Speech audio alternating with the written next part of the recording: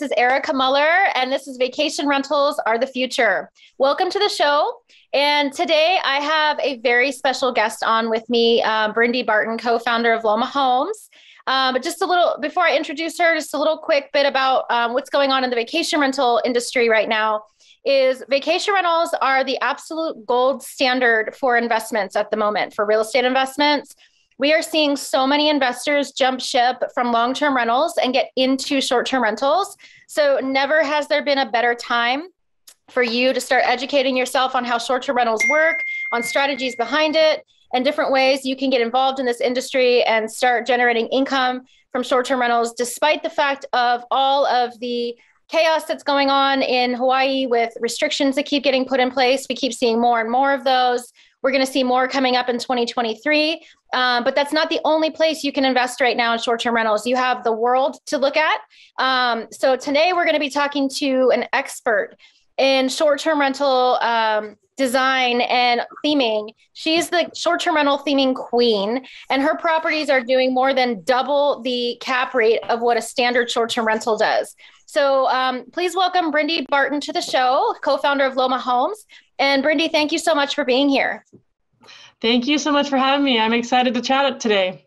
Yeah, this is great. I'm uh, I've known Bryndee now for a long time. I think what what did we meet like six years ago, five years ago? We probably it was probably yeah we probably met four years ago. Worked worked together starting two years ago. Okay, cool. Yeah, it was somewhere. I know it's been a little while, and I've had the pleasure of actually getting to see you in action from ground zero all the way to the end. I'll never forget that experience because I don't think I've ever seen anybody pull together a short term rental the way you did. Um, just to give you guys some insight, Bryndee is like um, the Dr. Seuss of design. Like the when I say that, I mean like she's so the way her mind works is so far out there when it comes to the kind of risks that she's willing to take that are so different than anything I've ever seen someone do, and it's paid off big time for her. So um, her her one property in Orlando is actually generating a 17% cap rate. Um, the standard for Orlando right now, and at Vrolio, we do short term rental data, so we actually know this factually. Um, the standard cap rate is 3% on a property her size. So she's actually like quadrupling or more of what the other short term rentals are doing. And the way she did that, and I'm going to let Brittany tell us about it, is by just going crazy with how she themes these properties so we want to talk a little bit about that strategy, Bryndee, like how you got involved in this, like how you were able to like make that jump, take these risks. Tell us a little bit about what you do there at Loma Homes. And um, also, I'd like to show you guys some of those properties while she's talking. Thanks for that introduction. That's way more nice than I even deserve, I feel like. But it's been a fun ride. We started in traditional real estate about 10 years ago. And then uh, four years ago, we decided to do our first vacation rental we start we thought it would just be a traditional vacation rental. We thought oh this is a good uh, market to be in and you're making good returns. So we started with one in california and um, it went so well we decided to go again but we didn't love the political climate and some of the different factors in california. So we started looking for another market and that's when we came across orlando. And um, when we decided to invest in orlando we were like what would make us stand out? And that's our whole process is figuring out how we can be the top 10% of any market we're in. And it's not going to be universal across the board because what you're going to make in orlando is going to be different than what you make in hawaii or what you make in like the poconos mountains or um, in a park city ski resort. So what you need to do is like look at your specific market. So when we decided we're going to go to Orlando, we said, what are the top performing properties? And when we looked at them, they were themed out properties and especially the ones that had like custom made items that almost looked like a theme park. Then the ones that were like right below those couple couple really good ones were ones that even just had like bedspreads and stickers on the walls, and their theming was um, not that hard. And we're like, we could do this, and we could do this better. So I got on the phone and on Google and just started calling people and figuring out like how can I make a theme park based house basically? Because what are people going to Orlando for?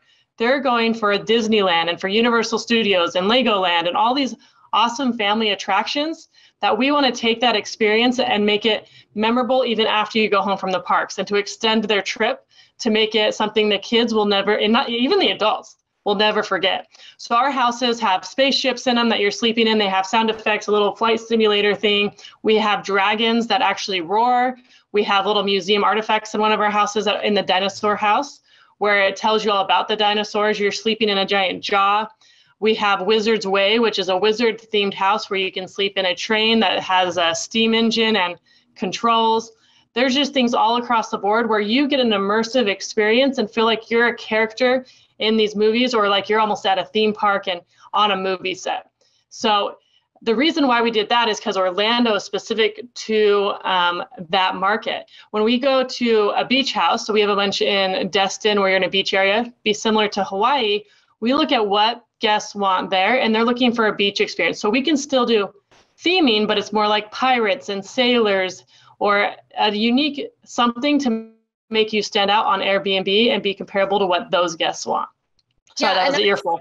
That's like so, but it's so needed because everything starts to look the same and saturation of properties on Airbnb is at an all time high. And a lot of people think that they can just go buy a house or buy a condo. Um, and because the destination is nice, that they're going to be able to rent it out. And it's just not the case anymore. I mean, we see it in the data that saturation is so high. And if you don't have an alternative strategy, not just with what you're purchasing, but how, what you're going to do with it after, um, your odds of success are going to be pretty low. Now, what would you suggest? Like, if you were going to go into a beach market, I know you have some properties in beach markets, um, but it wasn't like a theme park market. How would you approach that market? Because you took some really big risks in Orlando and it paid off big and it was also expensive, right? Um, how do you know, you know, how big of a risk to take in each market and how far you should push the boundaries?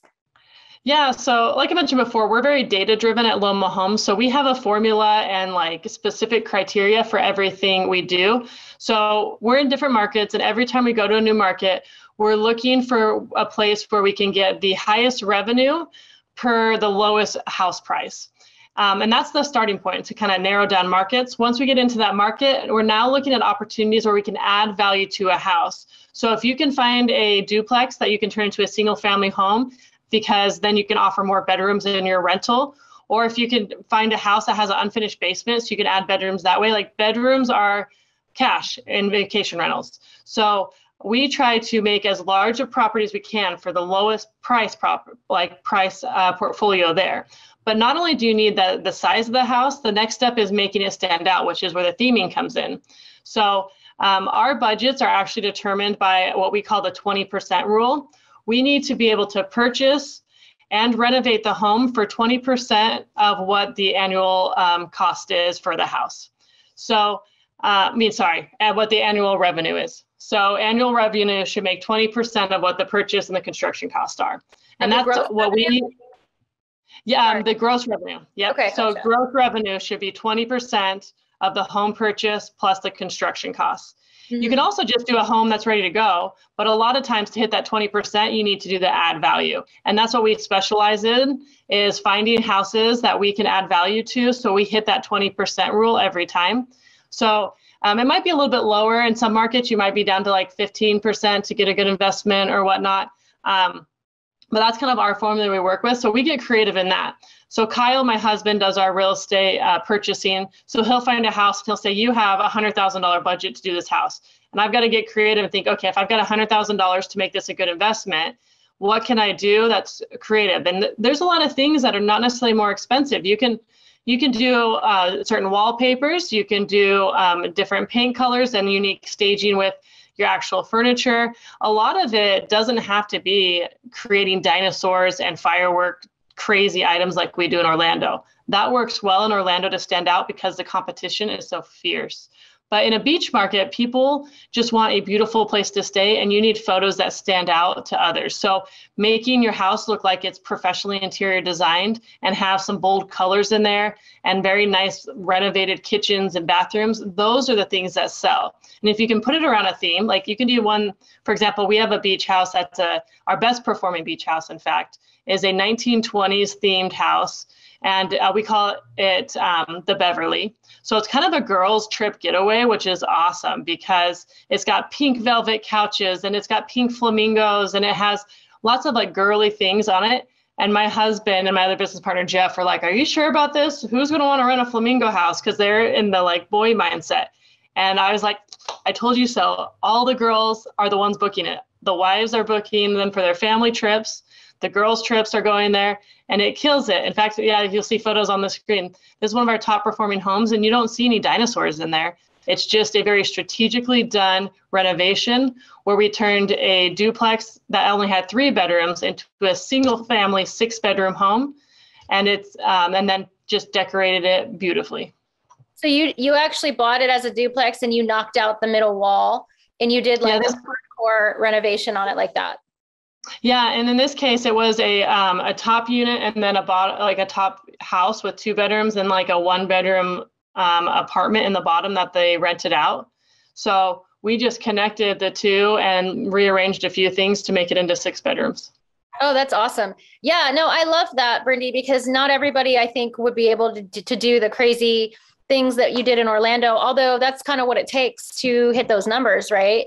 Um, now, I think what people don't know as well about you is that you also have to hit these numbers because you're using other people's money as well. Like you're running a fund. And that's a big responsibility yeah. when you're taking other people's money and you're promising them a certain return. So you have to really trust your strategy. How does that fund structure work that you do? And how do you, and like, at what point did you feel like, okay, I really am confident now that this strategy works and this formula works every time that I can start taking more money? Because um, I know personally, by taking other people's money, like that's a totally different pressure than when it's your own.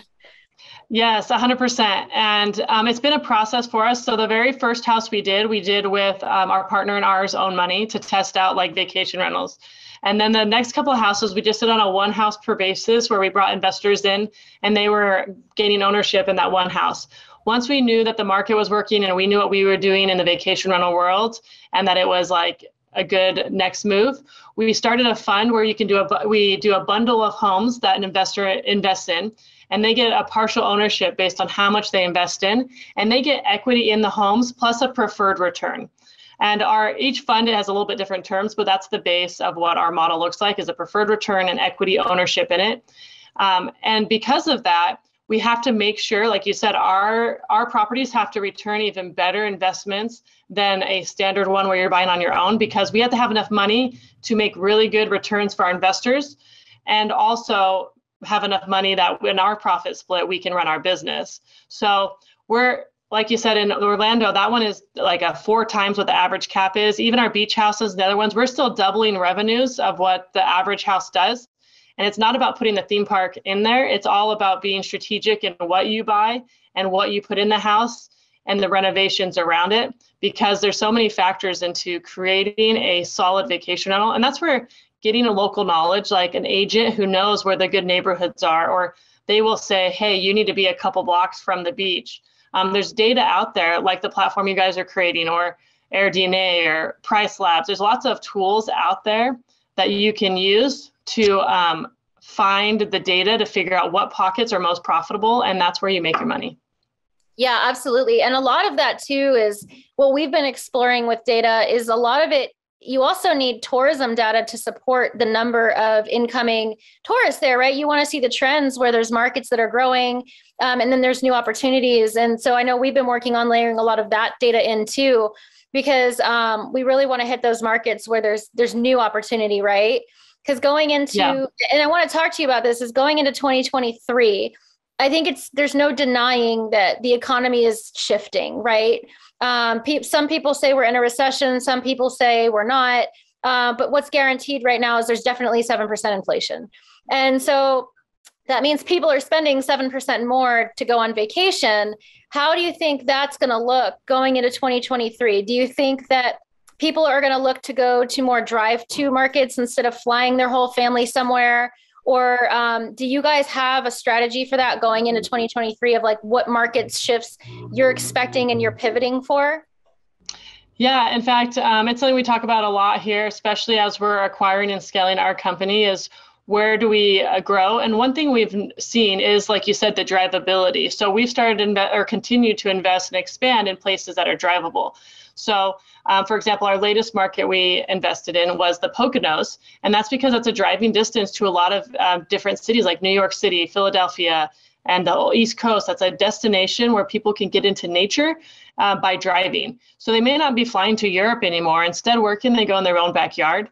And we were able to find that from data. And I'm really excited to see your platform and the data that they're creating because it's going to be next level from we have to really dig and almost like scrape and create our own formulas because it's not out there right now. But that is um, what we we see is kind of going into those driving and nature people and millennials love the experiences so a lot of the people traveling now want to go places where they can experience and if you can create a home that just um, encourages and enhances that so not only the theme park ones, but if you do tree houses or trailer like tiny homes or the Airstreams, a lot of those trends are killing it on Airbnb right now and on the different vacation rental platforms because they're unique and provide that experience. Well, yeah, and it's funny you mentioned Treehouse. Speaking of unique stays, because I've been really looking hard at those lately. And what I like about them is because they're on stilts, you can actually buy land that nobody else wants because maybe it's in a flood zone um, and it's really hard to build a traditional home or put a mobile home on or something like that. You can get the land really cheap and it could be a nice piece of land and then put your treehouse there because really all a treehouse is is a tiny house on stilts right and yep. and so like this trend has been taking over the north carolina mountains and i think a lot along the east coast and also out in california but the rois are huge on that like people don't have to spend a fortune on a, on a big expensive uh, million dollar house anymore to do something that's highly profitable they just need a strategy like you're talking about and i think what you guys do really well is that you know who you're going to be servicing. Like you know who your guest is going to be. And I think that's one of the reasons why you guys have been so successful is because you spent so much time in your data um, building the, those algorithms out to figure out like who are we going to be marketing to? And then you build the property for them. And a lot of people don't do that. And i just want to say that you guys have done an awesome job with that. Um, who kind of like spearheaded that part of your program? Because most funds don't do that.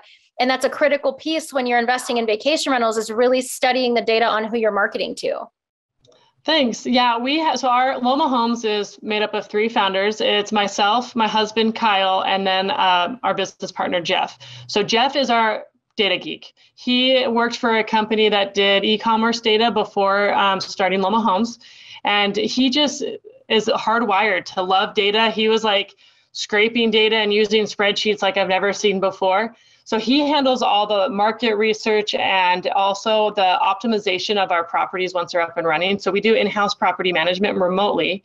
And um, he, we use a lot of technology to leverage that and to optimize our bookings. So not only is about building the right house, but you have to market it and use the right tools online for people to even find your house and and find it in search and whatnot. So we, he's really good at doing that, and we're actually developing a product ourselves that it optimizes it on Airbnb specifically. So that way you'll show up on, it's almost like search engine optimization for Google, except for it's for Airbnb. Um, oh, because he got so good at it for our own properties, we're like, why not start creating it for other people? Because people are missing out on this who are hosting on Airbnb.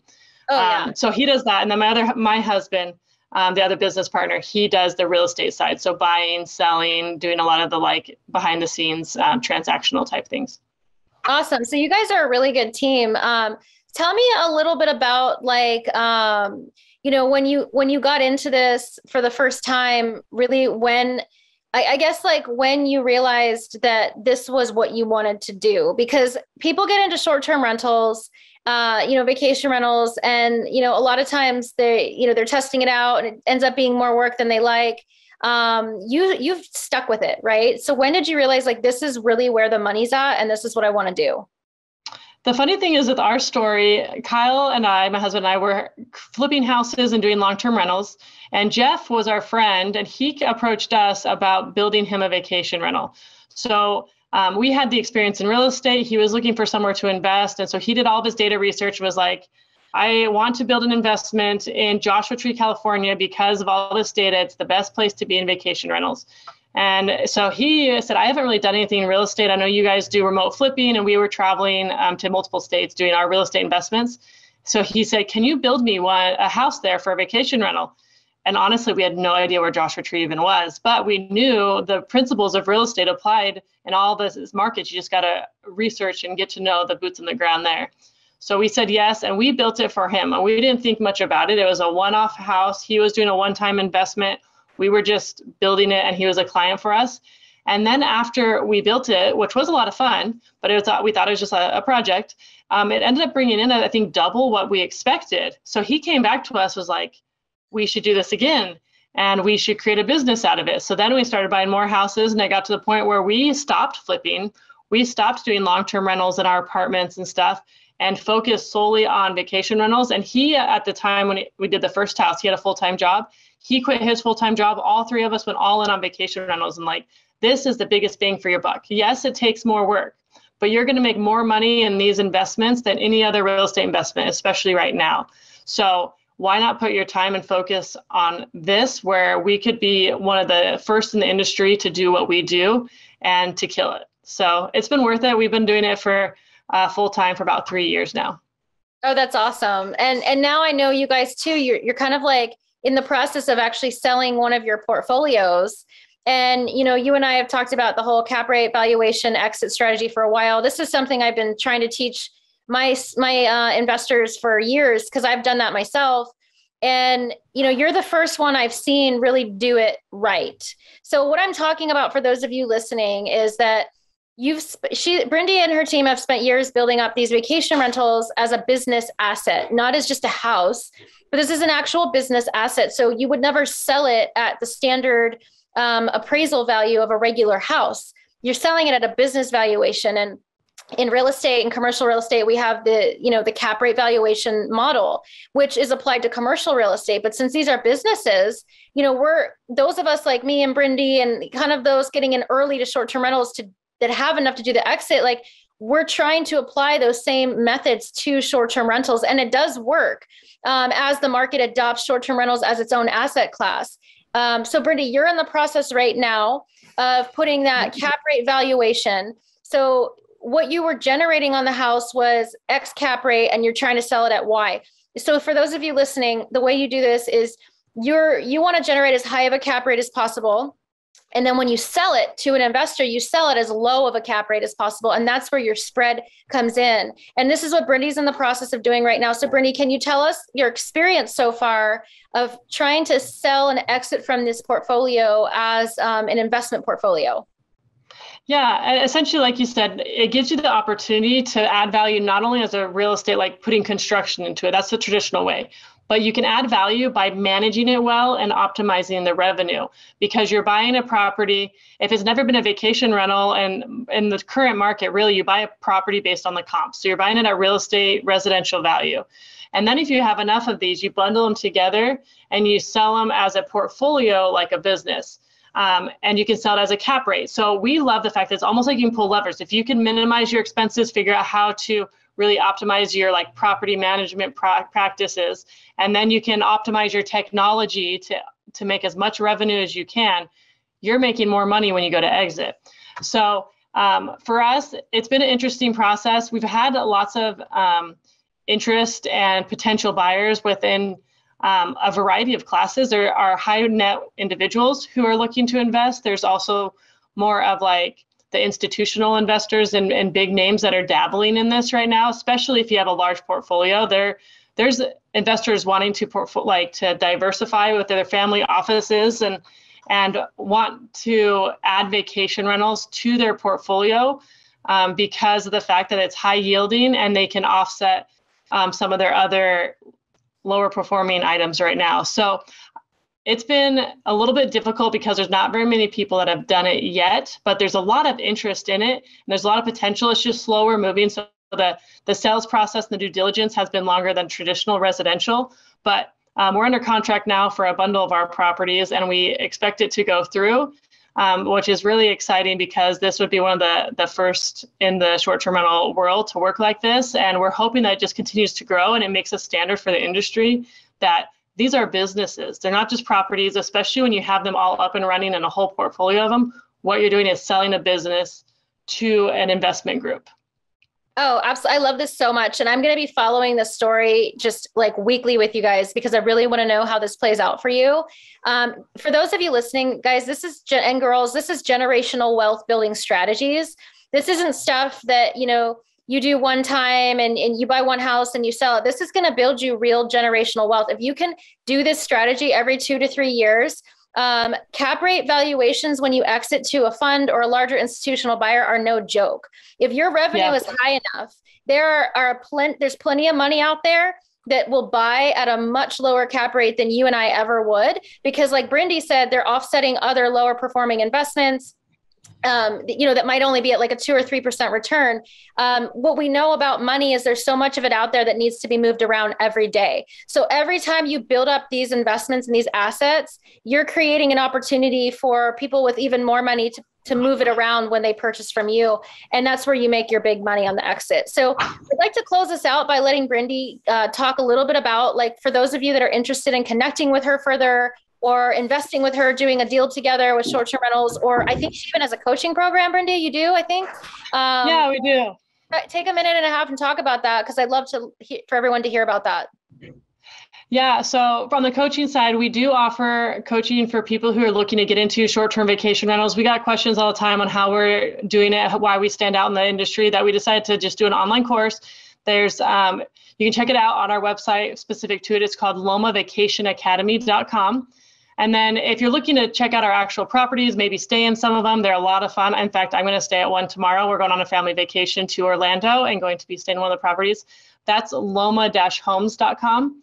Um, and then as far as investments go, Erica is right. The potential for in return on investment is crazy with this strategy of bundling and selling at cap rate. So our investors who came in, we were promising them like decent returns, but we're going to double some of them will even receive up to like a 40 or 50% IRR if it goes through and works as well as we hope. Um, so they're phenomenal returns if you're able to do this cap rate exit strategy. And our goal is to do that over and over again. So we're always raising funds to continue to grow our portfolio. And we want to be a win win where um, investors who maybe don't want to hold on to the assets and do the work and work to like manage the properties and stuff themselves. You can actually invest with people like us, where it's just writing a check and you get quarterly um, payments out, and then when we do an exit, you get to win big. So um, if you're interested in investing, definitely send me an email at bryndee at loma-homes.com. I'm sure that'll be in the notes as well, but um, it's just my name at loma-homes.com.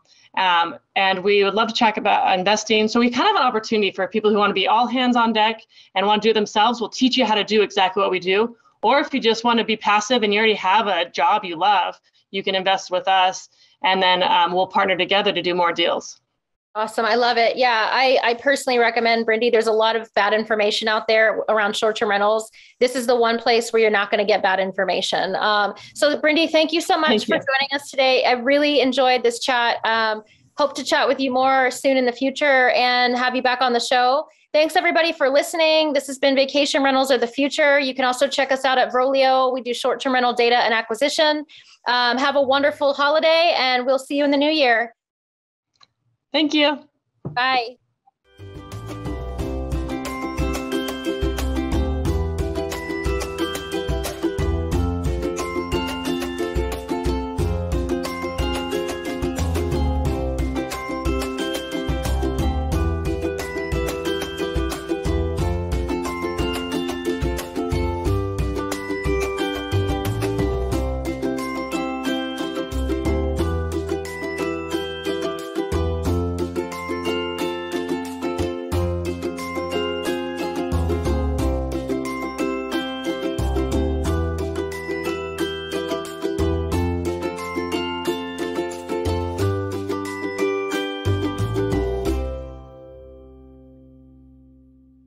Thank you so much for watching Think Tech Hawaii.